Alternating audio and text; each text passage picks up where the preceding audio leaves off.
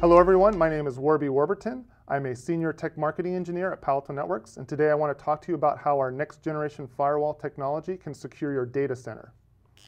So we'll start with the data center. And we're going to put some applications in the data center. You might have applications for your employees, for your partners, and for your end users.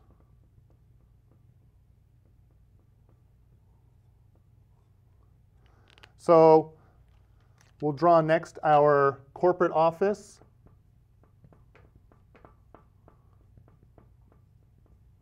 So we have IT, we've got our employees,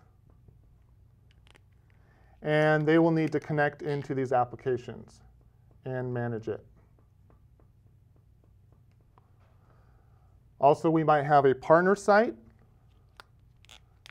that we work with.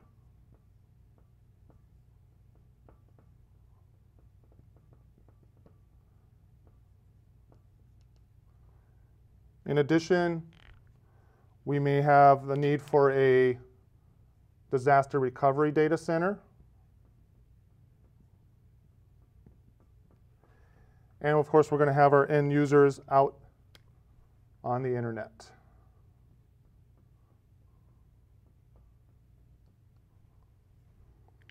So with a traditional firewall, we would have to allow applications based on ports, which isn't very secure and it's difficult to manage. So for example, your end users may come in and they need port 80 or port 443. And we just have to hope that they're using a legitimate application over that port. Your disaster recovery site probably has some kind of dedicated connection, lots of applications flowing between here, maybe databases are synchronizing for backup. Partners, you might have some kind of secure tunnel, and you need to know what those actual applications are across that tunnel. Difficult to manage with the traditional firewall. You need to allow IT access to manage this infrastructure in the data center, as well employee access to the employee applications. The other problem you might have with a traditional firewall is a malicious user is going to hit your application and, for example, hide on this 443 channel, doing something other than the intended application, maybe trying to compromise a server, get BitTorrent installed, and start uploading malware. With a traditional firewall, I don't even know that's happening because I've opened up a port without having any visibility of what that application is and whether or not there's malware on that channel. So next I'll show you how a next generation firewall from Palo Alto Networks will solve these problems. Okay, so now we've installed a next generation firewall. We can identify applications coming in and out of the data center. We can monitor for threats. We can use WildFire to check for zero-day attacks to protect our data center from all these different sources. So now in this point, we still have some kind of secure tunnel from our partner site, but we can actually see which applications are coming across that tunnel. We can limit them. We can report on them if we get anything we don't expect. We can allow, for example, IT to connect here to manage it. And based on their user ID, we can allow specific applications like RDP and SSH that we wouldn't allow other employees or other sources to connect to. We can have employees come in with something like SharePoint and ensure that it really is SharePoint. We can still connect our disaster recovery data center remotely and only allow things like SQL, whatever that traffic should be, those applications we can monitor to make sure that malware isn't propagating. Our disaster recovery data center is specifically for disaster recovery. It needs to be protected as well. And our end users,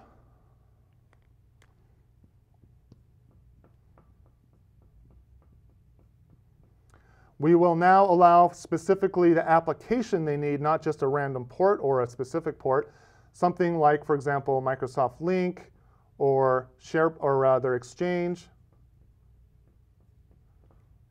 Now when my malicious user tries to come in and leverage this port, this channel, that traffic is inspected. I know that it's not Lync, it's something like BitTorrent or some other attempt to get into a login, and I will block that traffic.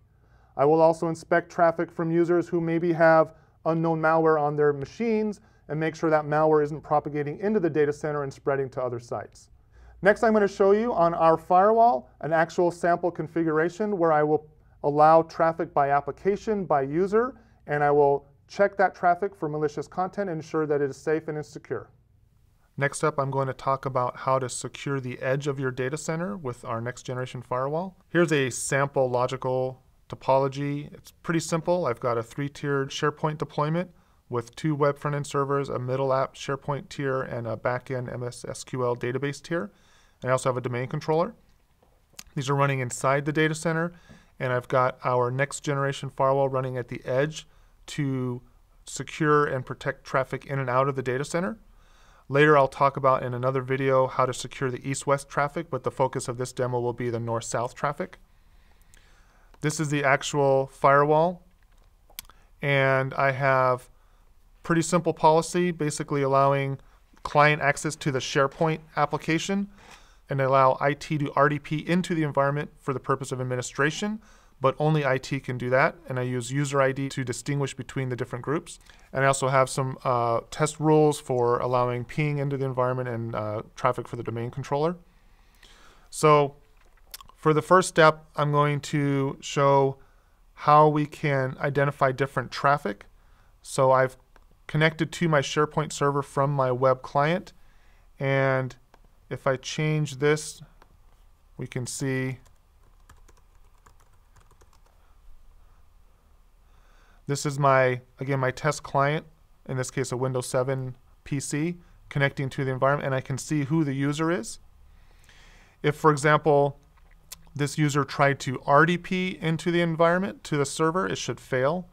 So we'll, let's go ahead and try that out.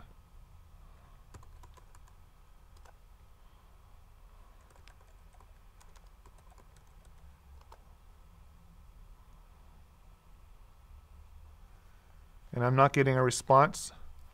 Let me do a refresh on the log.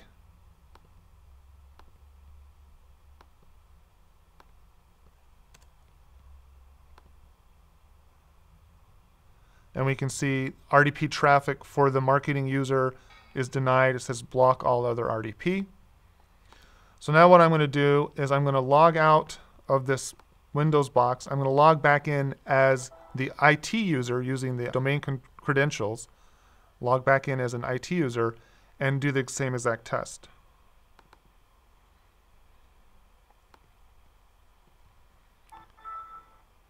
So we can see I'm logged into the same computer, but this time I'm logged in as an IT user, and I'm a member of the IT domain. So if I, again, from the same source IP, I try again to connect to that same destination server, this time I get a prompt for a password and I log in. If I come back and do a refresh on my traffic log, I can now see that the source and destination are identical, but it says IT user in this case. In this case, it's allowed because IT is allowed to do that. So that's showing how user ID can be a very powerful tool for the edge of your data center. Okay, next up I want to talk about dynamic address groups. Uh, it's very common to use dynamic address groups on our virtual firewall, for example, in a data center monitoring east-west traffic. It's also a very important use case to use dynamic address groups at the edge of your data center. So for example, in this case, my data center firewall has a dynamic address group called Web Front-End Servers, which currently has the two IPs associated with my Web Front-End 1 server. If I go look in the vCenter view, I can see that the two IP addresses associated with Web Front-End 2 are not yet associated with that group. So 15.0.0.203 does not yet exist in this group.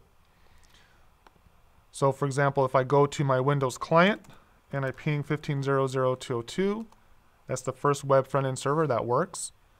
If I try to ping web front-end 0, uh, web front-end 2, it fails. And if we look in the logs for ping for recent traffic, we can see, for example, that the Windows client was able to ping the first one, web front end 1, but when it tried to ping web front end 2, it, it was denied. And the reason is it hasn't been yet added to that dynamic address group. So in this case, The dynamic address group membership is coming from NSX. It doesn't have to be from NSX. It could be directly from a vCenter or from a host. But in the case of NSX, I'm doing it based on security tags. So if I come in here and set the web front-end server to be the web server security tag, that information will get pushed via Panorama to the edge firewall for the data center, and the group will automatically be updated.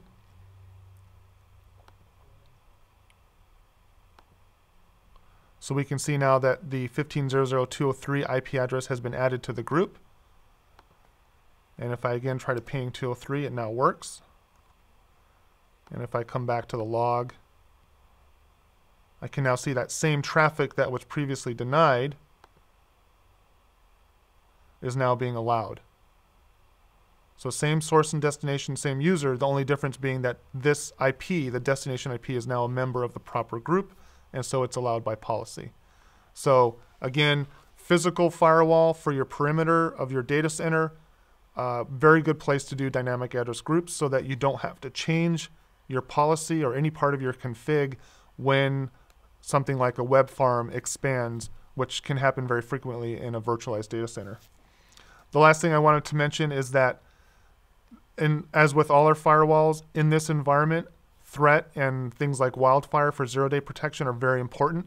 So I do have in my policy, for example, for my SharePoint access, I absolutely want to turn on all of my antivirus, my spyware, and my file blocking profiles so I get the same protection I do for the perimeter of the enterprise also in the data center.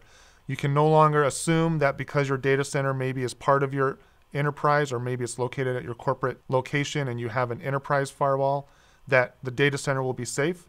People either intentionally or unintentionally may bring malware in over a portable device into the into the corporate office and it could propagate into the data center without this protection. So you definitely want to have threat protection turned on. You want to have your zero day protection with Wildfire in addition to your application identification and your user identification that I've already shown. So in the next video, I will go through how to do east-west protection in this data center in addition to the north-south protection. The two of those solutions together give you complete security.